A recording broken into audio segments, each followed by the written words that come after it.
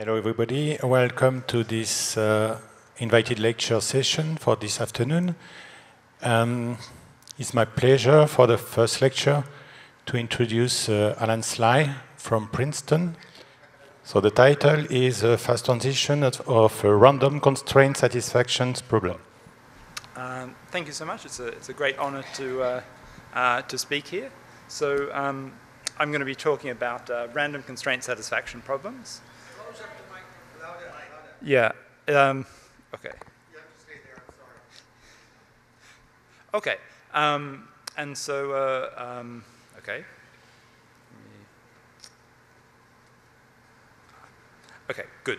Uh, so, uh, um, constraint satisfaction problem is, a, is like a term from uh, theoretical computer science, and it just means what it sounds like. You have a, a collection of variables, and you want them to satisfy some set of constraints. So imagine solving a system of equations, uh, coloring a graph, uh, or satisfying a Boolean formula. And they, they play a sort of important role in complexity theory. Um, but since this is a, a probability talk, um, I'll, be, I'll be interested in the, uh, the random uh, case of them, where the constraints are chosen randomly, maybe uniformly at random from some, some set or, or according to some other random rule. Okay, so, so to fix some uh, examples or ideas in mind, we could think about uh, certain uh, combinatorial questions of random graphs. So uh, you take uh, the Erdős-Renyi random graph, you have n vertices and connect each pair of edges with probability alpha over n, so the, the fixing the the typical or the average degree to be alpha or, or also a random regular graph. And, uh, and I'll be thinking about sparse random graphs where the average degree is a constant. And you could ask, is there a, is there a k coloring of the graph? Uh, so here the, the variables are just the, the colors of the vertices, and the, the constraints are the, are the edges, saying that uh, neighboring vertices have to have different colors. And since the edges are chosen randomly, it's a, it's a random CSP. Um, another um, uh, another example would be looking at uh, large independent sets of, uh, of the random graph, so more of a, an optimization flavor of, of, the, of the problem. And um, uh, so an independent set would be a subset of the vertices such that uh, you have no edges between vertices in the set. So in a coloring, the, say the red vertices must form an independent set. Okay. Maybe the canonical example of a, of a random CSP is uh, the, the random KSAT model. So this is a model of a random Boolean formula. You have, uh, so n Boolean um, variables, uh, each one true or false, and for the rest of the talk I'll just say plus or minus. Um, and uh, m clauses or, or, constraints, which will um, be constructed just by taking the um, k of the variables or their negations, chosen uniformly at random, and you take the OR of those. Um, and so a, a random three-sat formula might look something like this. Um, yeah, I can't really turn around to um, look at it, but um, so the clause, okay. The, the clauses are, are, something like x3 or x4 or not x5. Um, so for, for three sat, and we want all of them to be satisfied, so we take the, the and of them. Okay. And uh, obviously, the more constraints you have, the harder it will be to satisfy all of them simultaneously. Um, and so we can parameterize it by the clause or constraint density, um, the ratio of the number of constraints divided by the number of variables, which is, is the right scaling to take. And uh, I'll call this alpha from now on. Okay. And uh, also at times mention a, a, variant of the random k-sat problem, uh, the not all equal sat model, which just asks that um, solutions to the formula um, or x satisfies the formula and also the negation of x satisfies it. And somehow this extra symmetry uh, uh, makes it a bit uh, easier to, or tractable in some cases. Okay, so, so just to say, we'll be interested in the assignments of the variables uh, that satisfy the formula that make it evaluate to true. Um, and uh, yeah, so which we'll call satisfying assignments.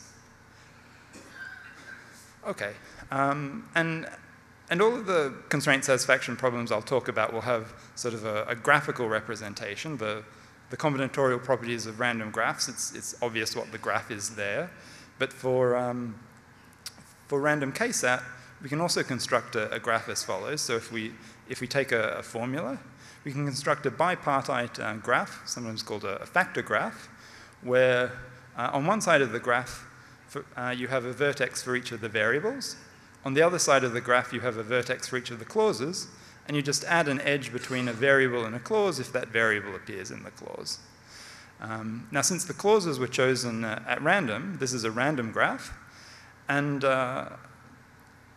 uh, and like most, uh, or, or, at least many models of random graphs, it's locally tree-like. So you don't expect to see many short cycles. If you, if you pick a random vertex and look at its local neighborhood, what you'll see is a tree.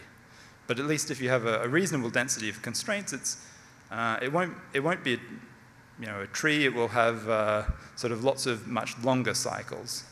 But still, the fact that it's locally tree-like is really what makes the model uh, tractable and what, what makes it possible to make uh, sort of really exact predictions for, uh, for these models. Um, okay, and so, uh, yeah, so what, what are the, the questions we're interested in? Well, the, the first question is just, when do you have solutions? And so what is the um, density of constraints you can have such that you still have uh, that, such that there are any solutions to the random CSP. And then once you know that, you can ask some more detailed questions as well, like uh, how many solutions are there? Um, what does a, a, typical one look like if you just choose a uniformly random solution of the CSP? And, uh, or, or, a more algorithmic question, can you uh, uh efficiently find, uh, find a solution? Um, that one we probably know the least about. Okay. So, um, so on the, the first question, um, one of the, the main conjectures is, uh, is just that uh, there does exist some uh, critical density of constraints uh, that determines whether or not there are solutions sort of asymptotically when you have a, a large number of variables. And, uh, and I'm stating it for the uh, random KSAT model, but it, the, same, the same conjecture applies to random colorings of random graphs or, or any of the the other CSPs. Um, and so just to, just to say uh, what this uh, means, we, we could look at the probability of it being satisfiable as a function of the um, uh, constraint density. And of course, this should be a decreasing function. Um, and as n grows, it should, um, it should become more and more steep and become more closer and closer to a step function. Um, at some, and what's expected is that there's some critical density alpha sat, such that the probability of being satisfiable tends to 1 when alpha is less than alpha sat, tends to 0 when alpha is uh, greater than alpha sat. Um, and, and so this is the conjecture, and it's conjectured to hold for all k greater than or equal to 2. Um, there's a, a, result of Friedgut which comes tantalizingly close to, to proving this, um, and it, just using essentially the abstract theory of, of Boolean functions and their sharp thresholds. And, and what he shows is that um, th this function becomes more and more like a step function. The, the window between going down from 1 minus epsilon uh, probability to epsilon uh, shrinks to zero as n tends to infinity. All that's missing in uh, result um, is, is really about the location of where the transition happens. It, it's some, the, the machinery is somehow too abstract to, to nail that down and say that um, the location of this threshold is, uh, is really doesn't depend on n. In principle, it could be that it fluctuates for different, or is different for, say, even n or odd n. No one would expect, would believe that, but uh, that's, that's the sort of missing uh, piece there. Okay. Um, and so the, I mean, most of what I want to tell you uh, today is uh, uh, really uh, about predictions coming from uh, uh, statistical mechanics and the study of disordered systems for, for, um, for understanding random KSAT, random, random colorings of random graphs, and a, and a university, universality class of other models, and, and the different phase transitions they, they undergo. And then about the, the what progress we've made in uh, um, trying to establish some of these uh, predictions. Um, and I mean, I say, I say predictions as, uh, you know, Greg Lawler uh, said, for, for the physicists, this is, is really theory, and, and we owe a sort of um, great debt to them for the, the sort of depth of insight they, they give us in these problems, even if they're not working in the, the framework of, of mathematical proofs. Um, okay, and I want to um, talk about a, a, couple of ideas um, that sort of lead to the, the heuristics uh, they have for you know, making these predictions. One is, is replica symmetry breaking, which um, you can think of as perhaps as a way of understanding the way the space of solutions splits into clusters of solutions.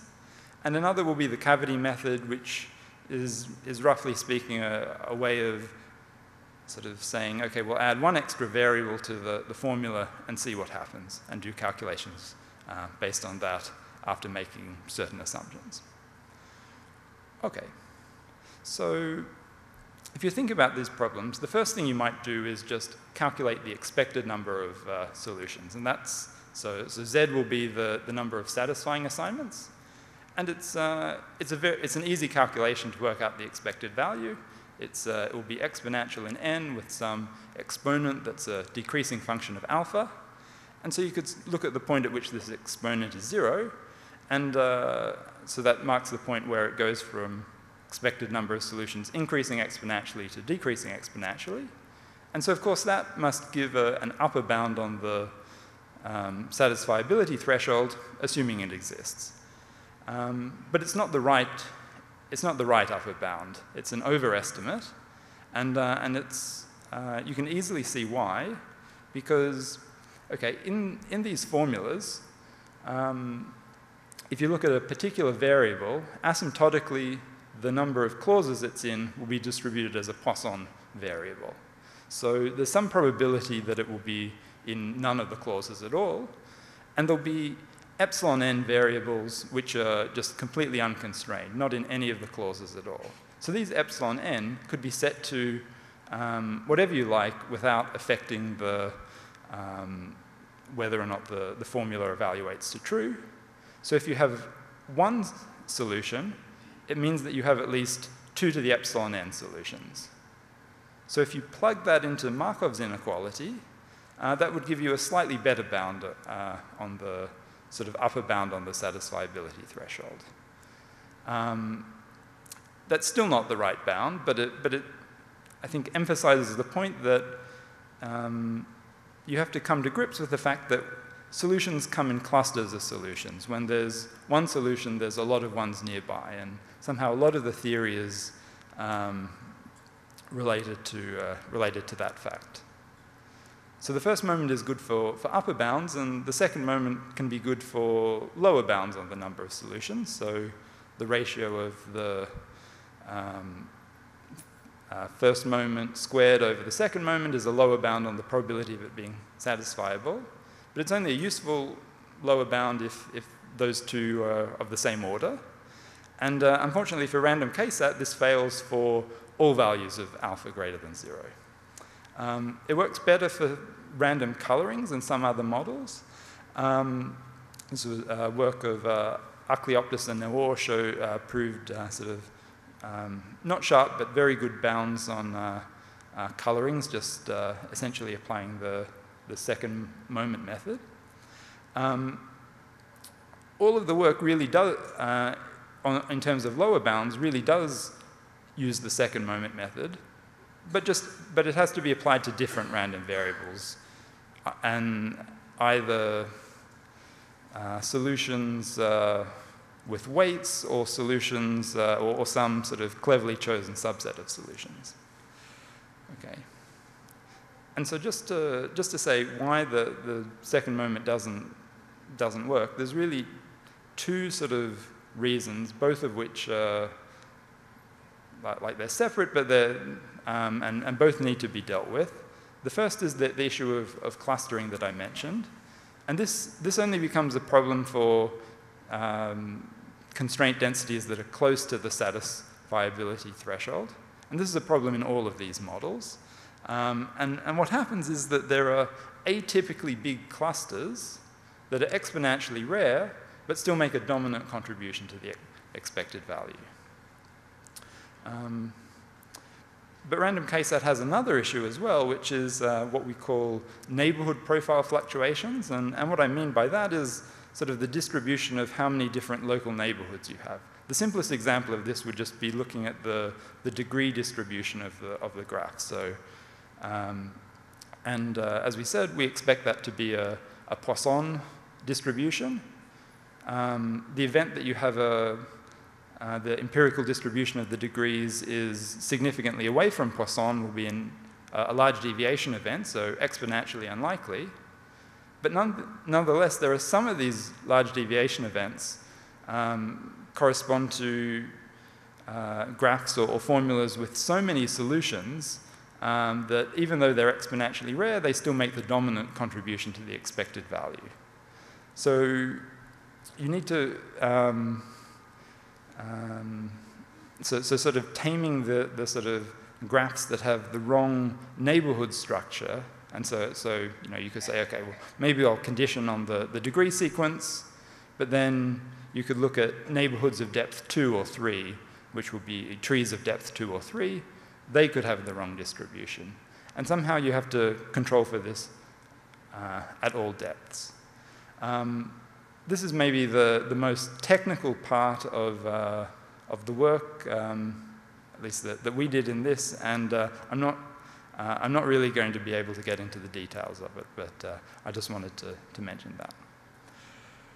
Okay, so, so the next thing I want to do is, is talk about the, um, the physics predictions. Um, the story really starts with the um, spin glass models, which are, um, I think, originally were sort of models for the magnetic properties of, of alloys of metals, um, but, but these are sort of you know, really toy models for that. And the, the one that's maybe received the most attention is the, the famous Sherrington-Kirkpatrick model. So it's a, it's a probability distribution where each variable is either a, a plus one or minus one, and it's with a Hamiltonian that's a sum of xixj times uh, gij, where the gij's are IID Gaussian random variables. Um, and uh, so, so it's really a, a, dense model where every variable interacts with every other one sort of directly. Um, and, uh, and starting with work of um, Parisi in, the, uh, in 79, uh, he made a, a series of predictions using you know, almost unbelievable uh, methods and heuristics. Um, but nonetheless, uh, in the last um, you know, 15 or so years, many of those uh, striking predictions have been, have been established. Work of uh, Guerra, uh, Talagrand's proof of the um, Parisi formula for the free energy of the, um, and uh, uh, Panchenko's proof of, more recently, of ultrametricity. Um, so these are really dense models. There's, there's interactions between all pairs of variables unlike the, the random CSPs where we're talking about uh, that, are, that are really sparse.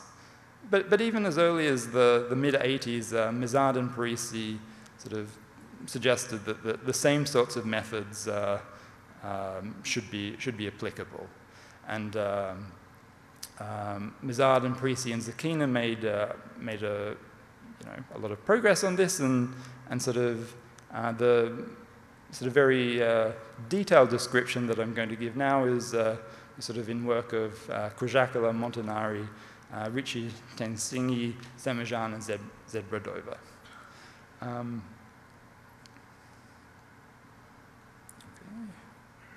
okay. okay, and it's, it's really a description of the, the way the, the space of solutions uh, splits into clusters.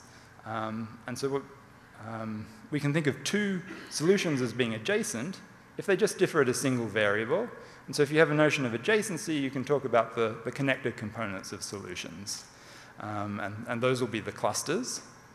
Uh, so the predictions are that when the density of constraints is small, um, there's, one, there's a giant component that has all or almost all of the solutions. But the, um, above a certain threshold, the clustering or shattering threshold, the space of solutions breaks into exponentially many uh, clusters, each with an exponentially small fraction, all well separated from each other. This, this seems to be the point at which all of the algorithms that we know for finding solutions seem to stop working, although that's more, more just an observation. Um, although um, having a very clustered space of, of solutions you know, at least says that uh, local algorithms are going to have trouble. Um, okay, and, and the existence of such a phase was shown by uh, Achlioptas and Coja-Oghlan. Um, a second phase transition occurs is called the condensation threshold. There's still exponentially many clusters, but now the biggest few clusters um, dominate and, and have, a, have most of the solutions. Um, so it's sort of a, a world of inequality. And, uh, and, uh, and a more fine prediction is that the, the relative cluster sizes obey a, a Poisson-Dirichlet distribution. And then the final threshold is, is the satisfiability threshold after which you have no more solutions.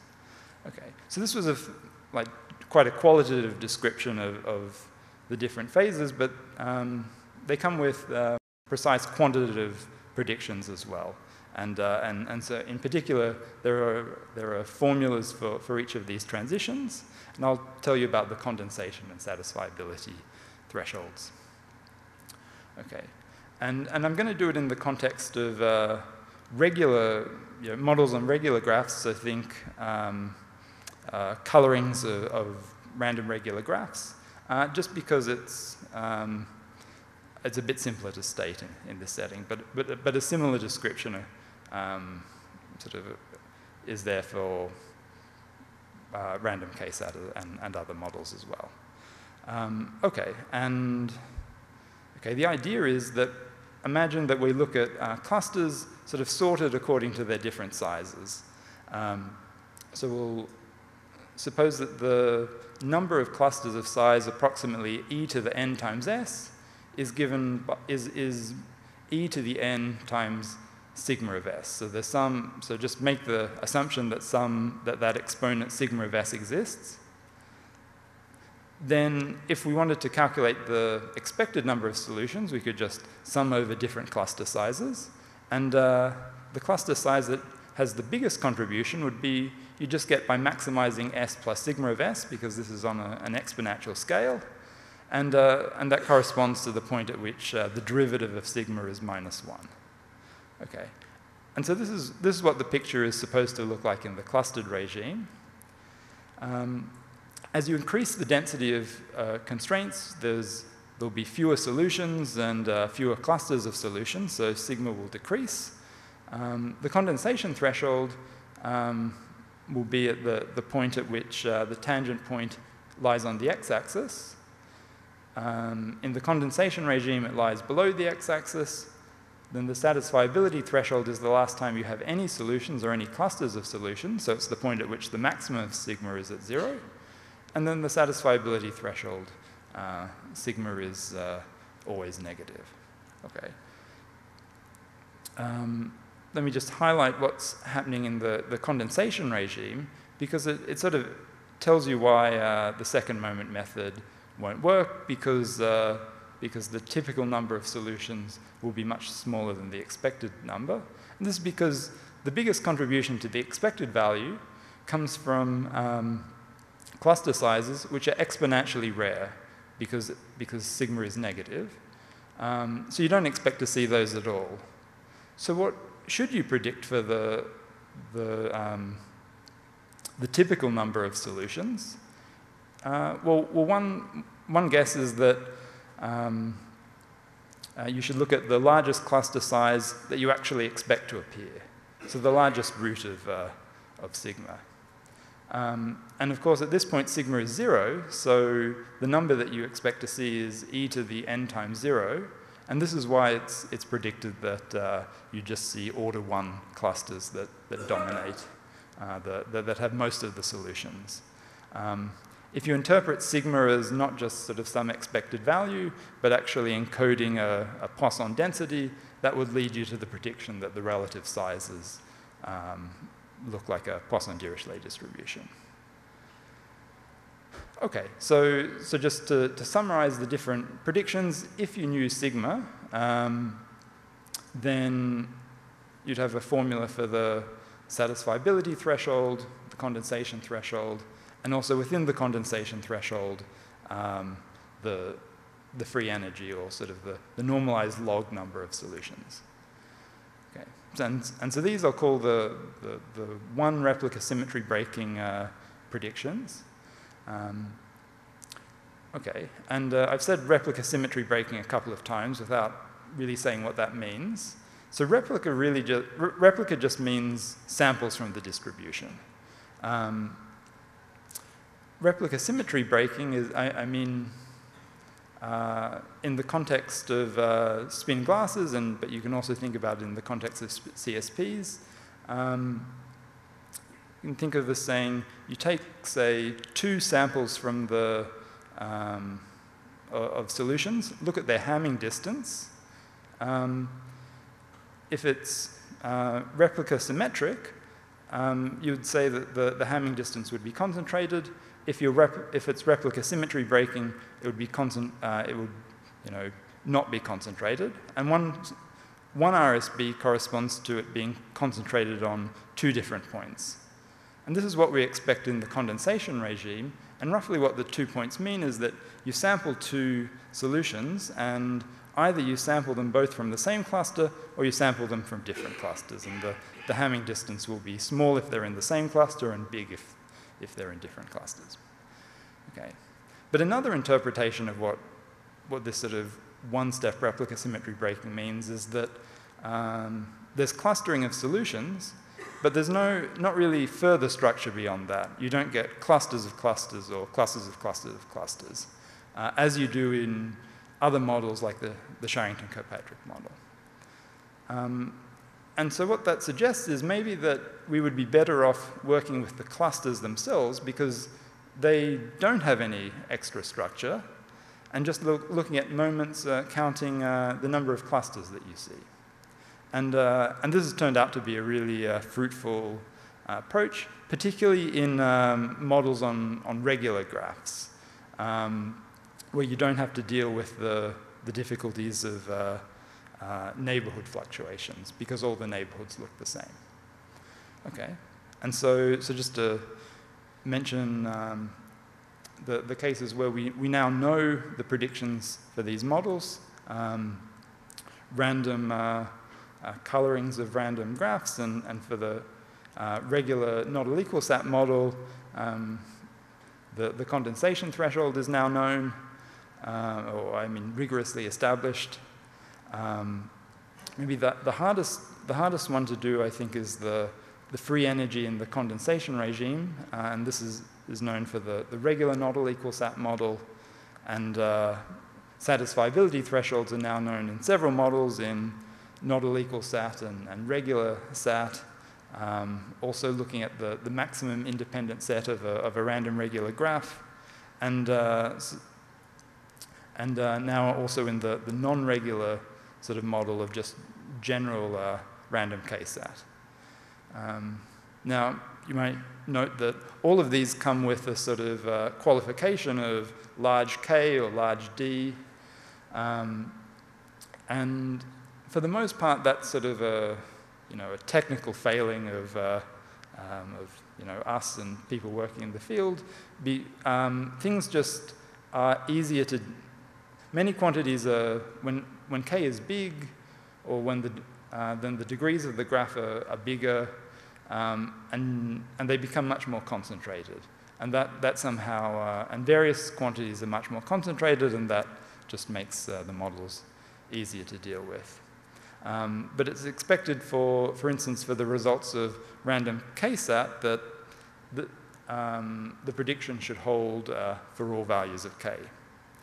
Um, that's not true in all of these cases. In the case of uh, looking at the, the maximum size of an independent set on a random regular graph, um, uh, it's, so we know, we know the asymptotics of that for large D. Um, but it's the one RSB formula is only supposed to hold down to, to d equals 20. For d less than or equal to 19, there's supposed to be a, a different regime, um, full replica symmetry breaking, where you, you know, now there, there will be clusters of clusters of clusters and so on, um, and, uh, and, a, and a different formula. Um, okay. Uh, okay, but so I said that um, the sort of uh, approaches follow looking at, count, uh, looking at moments of uh, the number of clusters, but how would you do that? Um, after all, the, the, definition I gave you of clusters in terms of you know, connected components doesn't sound like a very tractable um, uh, description to use. Um, but the, it turns out there's uh, very nice combinatorial descriptions for, for what a cluster looks like. And so we could imagine, um, okay, just we start from some satisfying assignment, and we want to build a description of the cluster that it lives in. Okay, so, so initially all the variables are labeled uh, plus or minus. Um, some of the variables um, we could flip uh, between plus and minus without uh, violating any of the constraints. So we're going to label those uh, with an F for free. Um, okay, so, so label as many variables as free as possible. And it may be that labeling some variables as free means we can um, make some other variables free. So we keep iterating this until uh, uh, we can't label any more, more variables free. And so we get a configuration where every variable is labeled either plus, minus, or free. Okay, and it turns out that um, these labelings of plus, minus, frees are essentially in one-to-one -one correspondence with the, the clusters of solutions. So this, this gives a, um, a sort of concise combinatorial way of, of encoding the clusters. Um, and, and these, um, when these plus minus free configurations satisfy uh, sort of just some simple rules, which are as follows. Um, the free variables uh, can't be forced by any of the clauses that they're in. So you have to be able to set them to either both plus and minus without them violating any of the uh, clauses that they're in. Um, on the other hand, the, the plus variables, and similarly the minus variables, have to be forced by at least one clause. If you were to flip them, then, uh, then there'd be a clause that was violated, because otherwise we, we should have labeled it as free. And finally, also, none of the, the clauses can be violated. Um, and so this is this plus minus free model gives a, um, is a good model for, or, or, you know, is essentially in one-to-one -one correspondence with the, um, the clusters of the original model. Okay, um, and so what, you know, what makes this more complicated model better? Well, it has a, it has a much more, it has a rigidity property. You can't, I can't just take a variable and change its labels without breaking uh, one of these rules.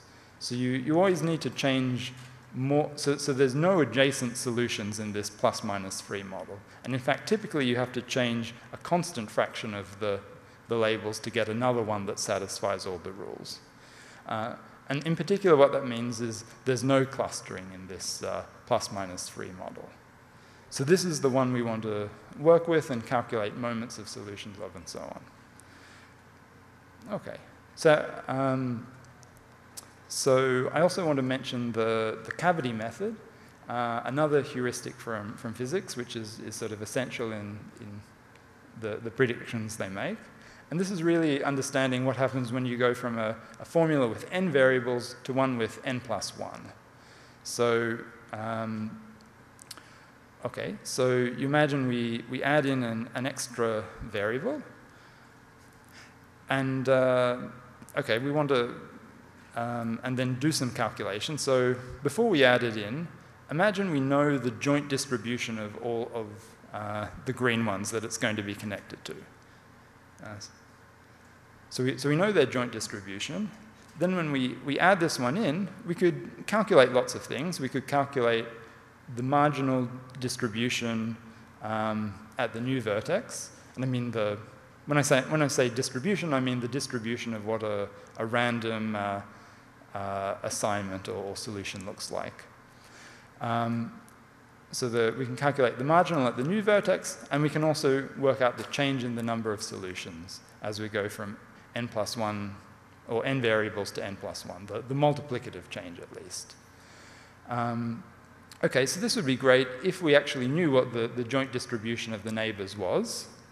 So, so the replica symmetric heuristic, which is, is what's expected to apply below the condensation threshold, uh, is, that, is that these should be, um, uh, they should be independent. So it should look like a product measure. And uh, essentially because they're all far away from each other, because uh, they were picked at random. Um, and the marginals should be drawn from some measure mu. Okay, this is, no, but this is, um, you know, not or you know, expected to be false once you enter the condensation regime where it's 1 RSB. Um, but if we look at the, the plus minus free model, this will be replica, still be replica symmetric. So, um, so, so we should just restrict our attention to this, uh, this new plus minus free model, and, the, and we'll, we'll still be dealing with a, a product measure. Um, so we could calculate everything as long as we knew uh, this law mu of what the marginals should be. So how do you, how do you get a hold of that? Well, um, the, there's also, um, you can also make an assumption that it should be, uh, um, you know, there shouldn't be a dramatic change when you go from n variables to n plus 1 variables. So the, the marginal distribution should be essentially the same in that case. So, um, so, the, so the marginal of uh, the new vertex v should also be distributed according to mu. But we could work out what the marginal distribution at v is in terms of the marginals of its neighbors. So essentially, this means that mu is going to have to satisfy a fixed point equation. Um, and once we know, so, what, so you can determine mu based on that. Um, and then, uh, you know,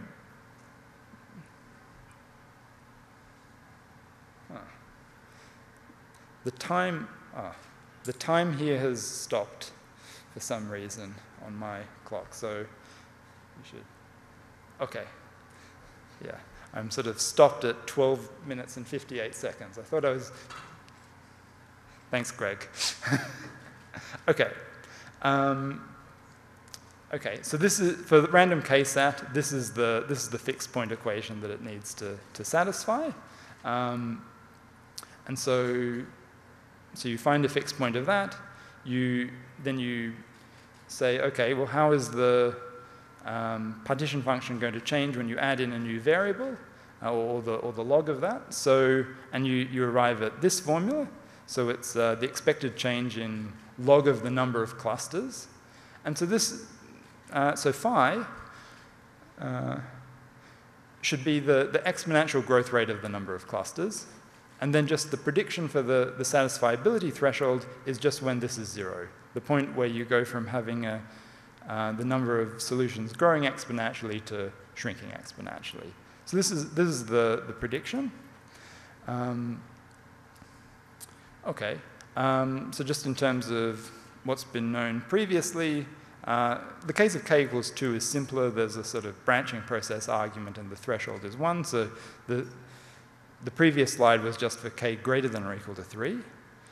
Um, the first moment gives a, a very, uh, uh, you know, gives actually quite a good upper bound, and there's a slightly more complicated argument that gives a very good upper bound.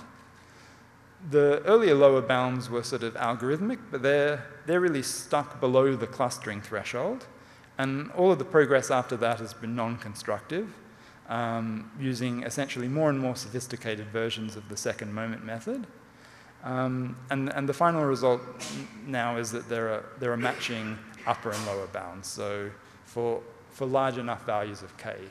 So, uh, so for all large enough values of k, the satisfiability conjecture uh, holds, uh, and, and moreover, it's at, at the threshold um, predicted by um, the physicists in, in this version uh, by, uh, first by Mertens, Mézard, and Zecchina. Um, and so, the proof uses um, uh, the second moment method, and it's really guided by the, the, the heuristics of, uh, um, that, that I just talked about, in, in particular in, uh, in terms of um, the marginal probabilities of, of variables are really determined by their local neighborhood, and, and uh, that's done in a way uh, predicted by the, the, the cavity method. Um, okay, so uh, let me just finish with uh, um, by, by saying that there's really a lot more to do in this area.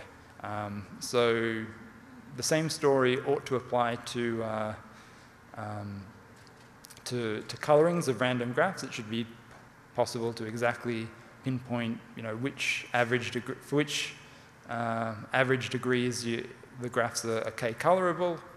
Um, what would be even better would be to have methods that didn't involve sort of going through a lot of the same sort of calculations for every individual model. Um, oh. um, and, and, and, also, also there are many aspects of, uh, uh, of this phase diagram that, uh, that we don't yet understand. Some of them we don't understand in any of the models yet. So maybe to highlight one um, would be uh, just to look at the, um, the condensation regime.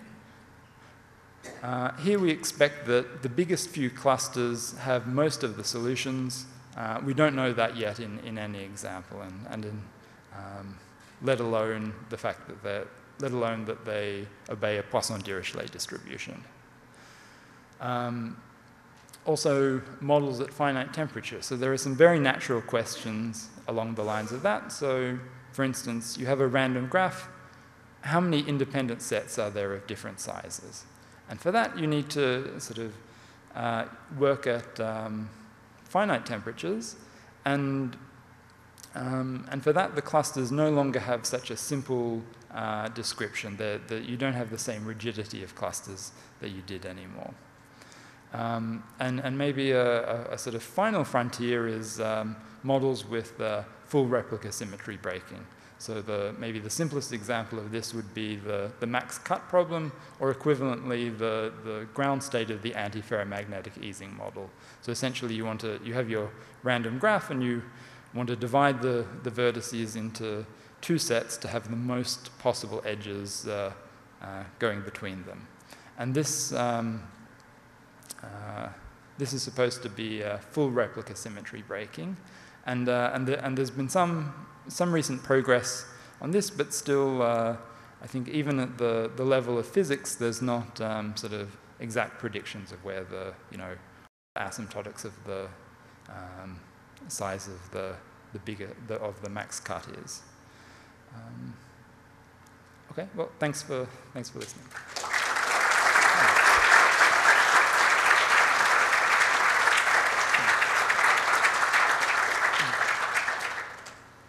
Thank you, Allan. Are there any questions?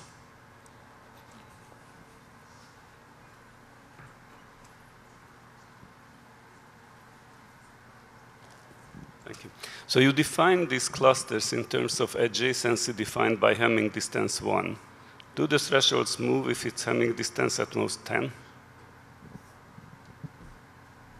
Um, right. So um, uh, okay, so for a typical cluster at least, it's usually a, a, a linear distance away from the, the nearest other clusters.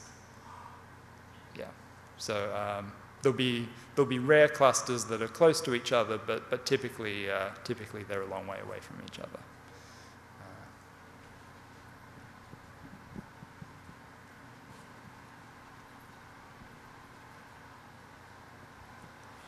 Um, is there any hope of extending to problems where there's a mild global constraint like Hamilton cycles in graphs, counting those? Um,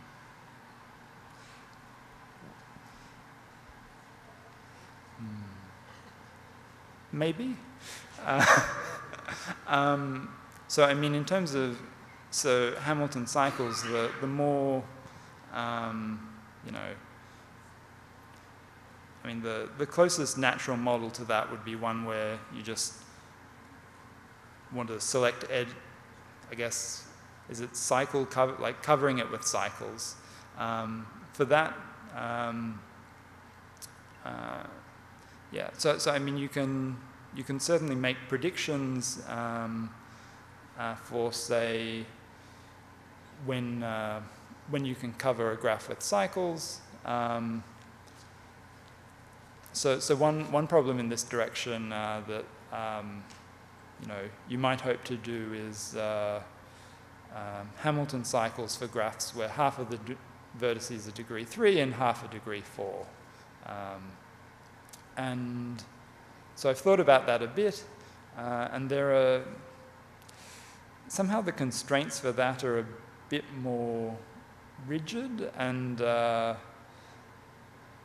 um, that seemed uh, that seemed more difficult uh, for reasons I probably can't say in the next 30 seconds. So, uh, but but yeah, I mean the, the those are very interesting uh, interesting directions.